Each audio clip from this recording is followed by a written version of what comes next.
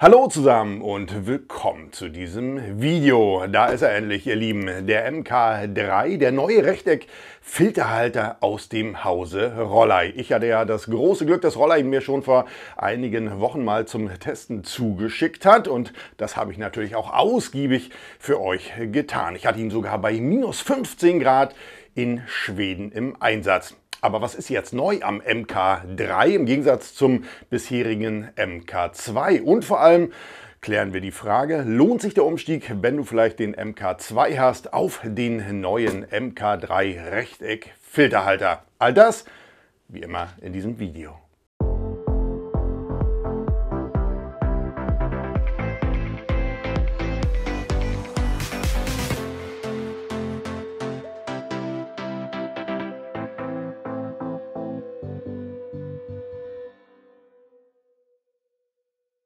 Der MK2 von Rollei war ja bislang der Standard Rechteck-Filterhalter aus dem Hause Rollei. Er war robust, er war gut einsetzbar, aber er hat so das ein oder andere Manko gehabt zu erwähnen, auch in meinen Videos, wo ich es euch schon mal vorgestellt habe, wäre durchaus natürlich die fehlende Arretierbarkeit. Das heißt, wenn du den Rechteckfilterhalter auf deinem Objektiv hast, konntest du ihn nicht fest arretieren. Tja, und auch dieses Einschrauben des CPL-Filters, naja, war alles andere als komfortabel. Einstellung des CPLs erfolgte ja auch bei dem MK2 rückwärtig.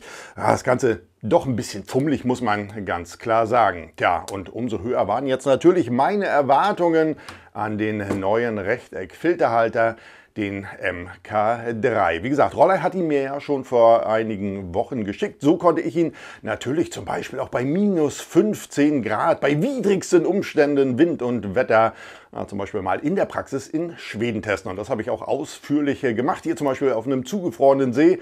Ah, das hat durchaus Spaß gemacht, muss ich euch ganz ehrlich sagen. Schauen wir uns erstmal an, was gibt es denn jetzt im Lieferumfang beim neuen MK3? Mit bei ist wieder die Filtertasche. Und zwar die Filtertasche, in der ihr nicht nur reichlich Filter, ich habe meine hier zum Beispiel von Rollei auch drin verstaut, verstauen könnt, sondern es passt natürlich auch Filterhalter rein, es passen die Adapterringe mit bei.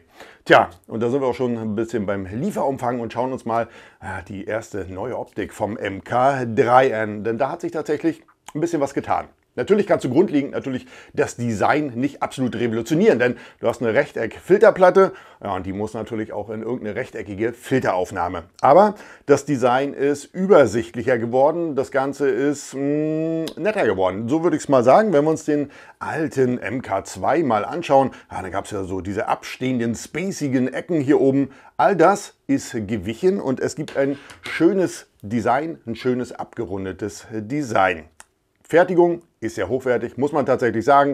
Das Ganze aus Flugzeugaluminium, so wie Rollei das selber angibt. Das heißt, es ist natürlich sehr leicht, dieser Grundfilterhalter. Auf der Rückseite hat sich auch ein bisschen was getan. Wir sehen es hier schon und zwar gibt es natürlich, damit wir, ihr wisst, das Eckige auf das Runde bekommen, brauchen wir einen Grundadapter, einen runden Adapter, einen Schraubadapter, mit dem wir dann entsprechend den Rechteckfilterhalter adaptieren auf unser Objektiv können.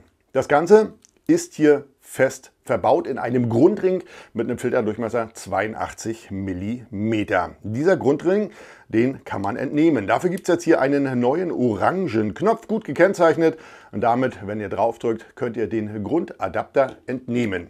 Zusätzlich zum Grundadapter, wenn ihr jetzt sagt, mit 82, wie hier beim 1535 von Canon, habe ich gar nicht. Na klar, es gibt wieder Step Up oder Step Down, wie nachdem, wie ihr das wollt, Ringe und zwar reichlich von Rollei. Da ist ja eigentlich immer alles dabei, was man sich wünscht. Passend natürlich auch in die entsprechende Filtertasche mit rein. Könnt ihr also unterwegs natürlich immer nutzen. Der Grundfilterhalter, dieser Adapter, den ihr habt, den müsst ihr natürlich weiterhin auf euer Objektiv schrauben. Genau das machen wir mal. Wir schrauben den auf, in meinem Fall 1535 von Canon und dann sehen wir weiter, wie es weiter funktioniert. So, das Ganze ist drauf montiert und da bei diesem Filterhalter, bei dem Grundadapter gibt es schon die erste Neuerung. Denn bislang war es ja so, der MK2 war ja ähnlich. Du hast hier hinten einen Druckknopf gehabt, dann konntest du den Grundadapter entnehmen. Das ist ähnlich, denn wir haben auch hier weiter einen Druckknopf. Wir setzen das Ganze seitlich auf, drücken hier hinten auf unseren Knopf und dann ist das drauf. dann sitzt der Rechteckfilterhalter bereits auf unserem Grundadapter. Aber jetzt gibt es schon wirklich die erste sehr, sehr gute Neuerung. Und zwar kann ich den nicht mehr bewegen. Der sitzt nämlich fest jetzt. Das hängt damit zusammen, dass diese, dieser Druckknopf, dieser orange Druckknopf hier hinten jetzt mh, hm, quasi einen Druckpunkt bekommen hat, einen zusätzlichen. Das heißt, wenn wir diesen Knopf jetzt hier leicht reindrücken, dann können wir den Filterhalter bewegen. Wenn wir loslassen, dann ist er arretiert. Das liegt nämlich daran, dass man dem Grundadapter hier so einen ganz, ganz, ganz, ganz feinen Zahnkranz außenrum verpasst hat. Der ist wirklich so fein, da könnte ich jetzt nicht mal sagen, das sind Millimeterschritte, es ist viel, viel feiner. Also du kannst ganz, ganz genau jetzt hier deinen Rechteckfilterhalter im Horizont zum Beispiel verändern. Einfach hinten ein bisschen raufdrücken, drehen, zack, arretiert. Ne? Und das rastet dann immer so wirklich in ganz, ganz, ganz kleinen Schritten ein. Gute Neuerung, das war ja was, was ich bislang tatsächlich bemängelt habe. Man muss so einen Filterhalter, gerade wenn es auch mal windig ist, musst du den einrasten können, ne? damit er dann tatsächlich stabil Wind und Wetter trotzen kann. So, Grundeinstellung. Wir sind fertig, jetzt brauchen wir CPL. Tja, der MK2 hatte ja noch diesen etwas fummeligen Eindreh-CPL. Feingewinde musste das den eindrehen. Also richtig mit Handschuh ging das auch irgendwie nicht alles. Man hat was Neues gefunden bei Rollei. Ähm, man hat sich, ich möchte mal sagen, dem bestehenden Markt ein bisschen angepasst. Das ist der neue CPL, ihr Lieben. Und zwar wird dieser magnetisch, man höre, man höre, hier vorne in den Filterhalter eingeklickt. Ich habe mich gefreut, als ich es zum ersten Mal gelesen habe, so die ersten Specs, oh, magnetischer äh, Rund CPL. Ähm, aber als er dann ankam, ähm, ja, habe ich ihn mir zweimal angeguckt. Denn an der Stelle, also wirklich ein ganz, ganz fettes Lob an diesen Ingenieur, der sich die Arbeit gemacht hat und diese filigrane CPL-Konstruktion hier erfunden hat. Denn es ist nicht nur ein runder CPL, sondern der hat hier so einen kleinen Einkaufshenkel dazu bekommen. Und dieser kleine Bügel, an dem du quasi den CPL festhalten kannst, kleiner Nachteil, ihr seht schon, er bleibt eben nicht so stehen, in der Praxis hat es bei mir ergeben, dass ich immer mal wieder mit dem Finger hier drauf komme. Ihr seht, er fällt halt so hoch und runter. Er soll halt das Entnehmen erleichtern, das magnetische. Diese Konstruktion an sich, die ist tatsächlich so filigran, dass man hier oben, damit es, wenn der dieser Henkel, dieser Haltegriff, wenn der runterfällt, na, ihr hört es vielleicht, dann ist da nochmal ein kleiner Magnet und der hält das. Also der fällt auch nicht von alleine raus. Grundkonstruktion ist also fantastisch, ne, was da heute so geht. So, das Ganze magnetisch, ihr Lieben, eingeklickt, fertig. Das finde ich gut. Kein umständliches Schrauben mehr. Passt. Diesen CPL können wir jetzt natürlich auch einstellen. Das Ganze erfolgt wieder rückwärtig, wie es schon beim MK2 war. Aber man hat ein bisschen dazugelernt. Ähm, ich finde diese rückwärtige Einstellung nicht 100% optimal, aber man hat es ein bisschen verbessert. Und zwar sind die Eingriffmulden, die sich auf der Rückseite des Grundadapters befinden, die sind ein bisschen größer geworden. Das heißt, man kann jetzt hier schon gut ankommen. Das funktioniert auch mit Handschuhen, auch mit ein bisschen ein paar dickeren Handschuhen funktioniert es. Ne? Es gibt andere Lösungen, die vielleicht besser sind, aber es funktioniert gut. Ne? Dadurch, dass man das tatsächlich noch mal ein bisschen vergrößert hat, alles super. Kleiner Nachteil, den ich jetzt ähm, erkannt habe, gerade wenn du im Winter draußen bist. Wenn du nämlich den CPL entnehmen möchtest, dann wird es ein bisschen fummelig. Und zwar gibt es nur eine Möglichkeit hier ranzukommen. Und das ist natürlich hier an diesem kleinen Bügel. Wenn das Ganze verstaut ist, es, es schließt super ab. Es ist auch äh, gerade ja, um das Ganze auch lichtig zu machen, damit du keinen großen Spalt zwischen Filter und Filterhalter bekommst. Es ist alles super, es ist gut konstruiert, aber es ist natürlich schwierig da ranzukommen. Du musst hier tatsächlich, hier mit dem Finger kommst du gar nicht hinter, weil es gibt keine Eingriffmulde. Das hätte ich besser gefunden, wenn man hier oben an dem Bereich, wo man den CPL rausnimmt, vielleicht nochmal so eine Vertiefung gehabt hätte. Dann wärst du besser an diesen Griff rangekommen. Jetzt ist es so, du musst mit dem Fingernagel reingehen und auch nur an dieser Stelle klappst ihn raus nimmst ihn raus. Na, das ist natürlich okay. Ihr seht, je nachdem, wo er steht, jetzt klappt er wieder so ein bisschen runter. Das sind aber, das ist Heulen auf ganz, ganz hohem Niveau, muss ich euch ganz ehrlich sagen. Die Grundidee, diese magnetische, finde ich super. Einklipsen, fertig, hoch. Ja? Also wesentlich einfacher schon mal als das äh, MK2 hier mit dem Schrauben. Super gelöst. Die Einschübe, sauber. Brauchen wir uns nicht drüber unterhalten. Ich habe mich ein bisschen gewundert, dass äh, Rollei von dem guten Schienensystem ähm, wieder ein ja, Rückschritt möchte ich es nicht sagen. Man hat es verändert. Beim MK2 hat mir ja bislang gefallen, dass wenn du deinen Filter eingeschoben hast, dass seitlich Druck auf den Filter ausgeübt wird und jeder Filter somit gleichmäßigen Druck hat. Das hat man jetzt wieder verändert in ein Schubsystem, wo Druck von vorne auf den Filter ausgelöst wird. Das heißt, wir nehmen uns mal eine Filterplatte, was haben wir denn hier? Ah, einen schönen GND-Filter, softer Verlauf.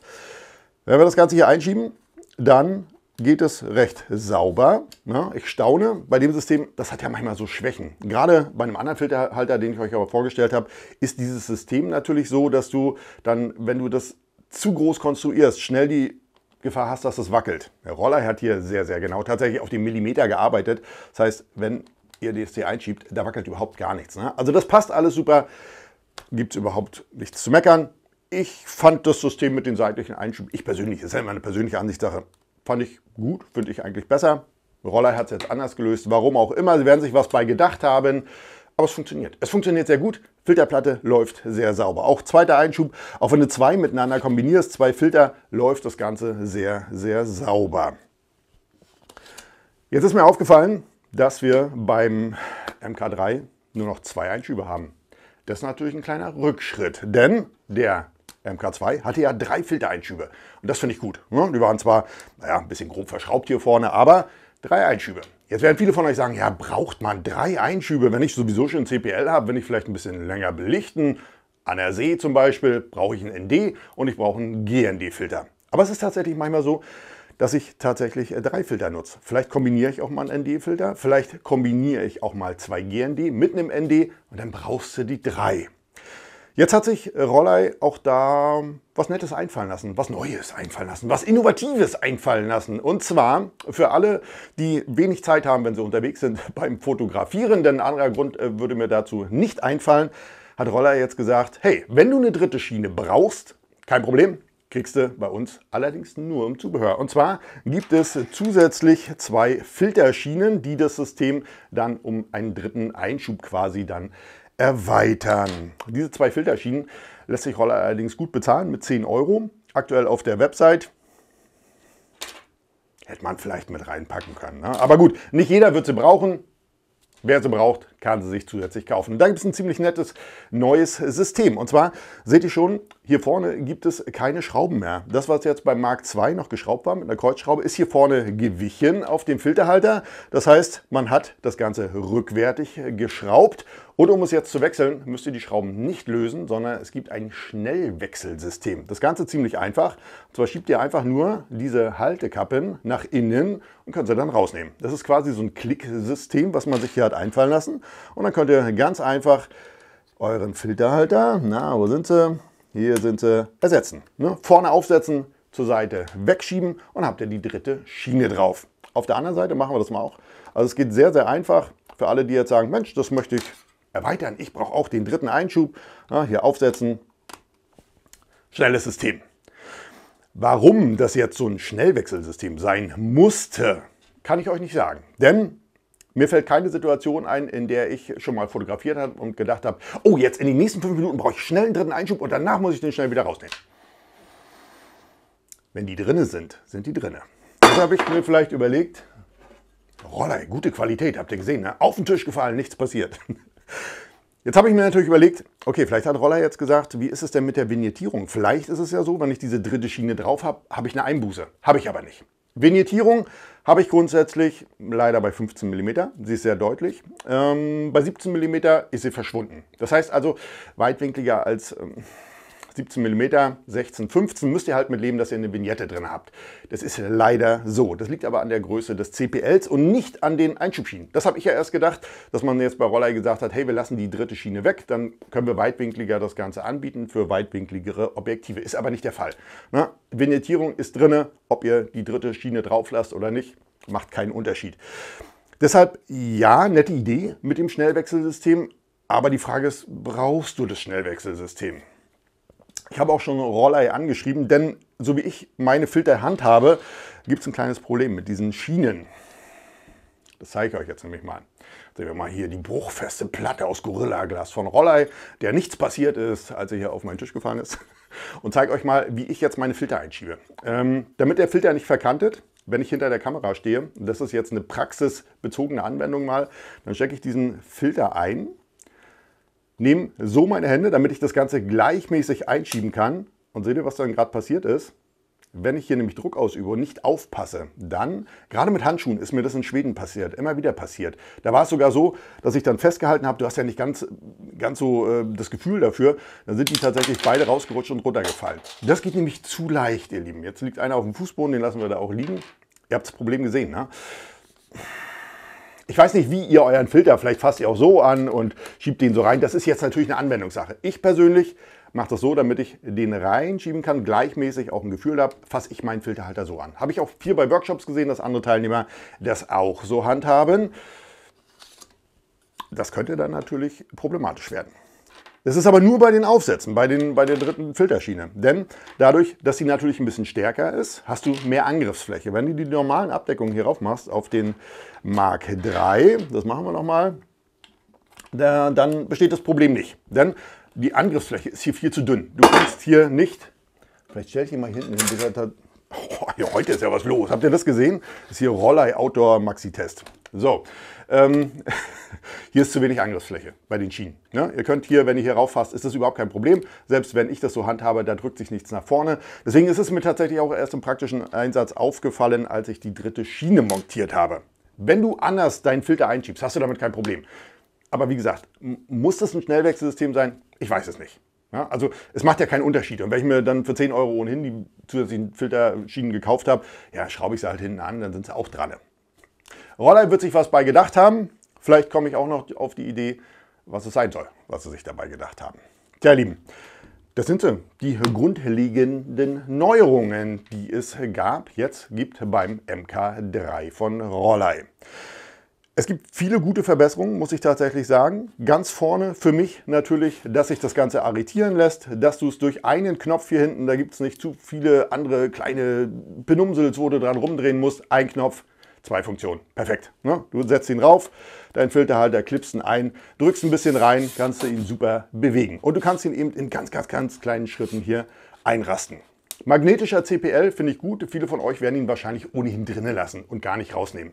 Du kannst ihn durch die größeren Eingriffenmulden hier hinten gut einstellen. Auch mit Handschuh geht sehr, sehr gut. Das Entnehmen hätte man vielleicht anders lösen können. Und vielleicht hätte man, wenn man diesen Henkel weggelassen hätte, was ja einen großen Rahmen äh, erfordert, den CPL ein bisschen größer machen können. Aber man hat natürlich jetzt hier den Vorteil, dass man äh, das CPL-Glas, das nämlich genau die gleiche Größe hat wie vom Mark II, nicht ändern muss. Das heißt, du musst keine neue Produktionslinie anlegen, sondern kannst sagen, hey, ja, Gläser, CPL haben wir. Ja, da hat man jetzt nichts dran geändert. Ist natürlich auch alles eine Kostenfrage. Ne? Denn Jetzt kommen wir auch zum wichtigsten Punkt. Was kostet denn der neue MK3? Er bewegt sich im Grunde in der gleichen Preiskategorie wie der MK2. Da hat man jetzt nicht viel geändert. Du kriegst verschiedene Sets. Auch hier gibt es wieder nur den Grundfilterhalter mit CPL, mit Adapter, mit der Tasche, so wie ich das Ganze jetzt hier habe. Es gibt wieder das Set, wo du gleich ein GND mit bei hast. Meine Empfehlung ohnehin, wenn du anfängst, nimm das mit dem GND. Gibt es auch zu einem guten Vorzugspreis. Tja, und dann gibt es natürlich wieder unterschiedliche Sets. Vielleicht wird es ja auch mal ein Angebot geben, dass du sagst, Mensch, gibt es wieder irgendwie, hm, den MK2 hat man ja teilweise für 149 Euro mit GND bekommen. Aktuell natürlich zur Markteinführung, da wird es das wahrscheinlich erstmal noch nicht geben. Finale Frage. Wenn ich den Mark II habe, lohnt sich der Umstieg auf den Mark III? Ich würde sagen, das müsste jeder selbst entscheiden. Wenn dich das schon immer gestört hat mit diesem Eindreh-CPL, wenn du jemand bist, der den ständig rausschraubt, ständig reinschraubt, dann solltest du vielleicht überlegen, ob du dir das neue Modell holst. Aber grundlegend, wenn du den soliden Mark II sowieso hast und du bist damit zufrieden und du bist auch mit der dritten Schiene zufrieden, die nicht rausfällt, weil sie nämlich festgeschraubt ist, lohnt sich wahrscheinlich der Umstieg nicht so richtig. Wenn du jetzt aber grundlegend überlegst, einzusteigen in die Filterfotografie, dann würde ich ihn tatsächlich bevorzugen. Bevor du noch den, das alte Modell, sag ich mal so, den Mark II nimmst, nimm gleich den Mark III da hast du ein innovativeres Produkt, wo man tatsächlich so ein paar kleine Details sehr, sehr gut verbessert hat. Ob du die dritte Einschubschiene brauchst, ist jedem selbst überlassen. Ich werde sie jetzt gleich mal suchen. Meine dritte Einschubschiene liegt nämlich jetzt irgendwo auf dem Fußboden da unten. Ja, ansonsten ne, in der Grundausstattung super, da passiert das eben nicht. Tja, der Mark 3 von Roller, ihr Lieben. Man hat einiges verbessert. Da muss man ganz klar sagen, bei anderen Sachen muss ich sagen, ja, sollte man vielleicht nochmal nachgucken, so dieses mit der dritten Schiene irgendwie.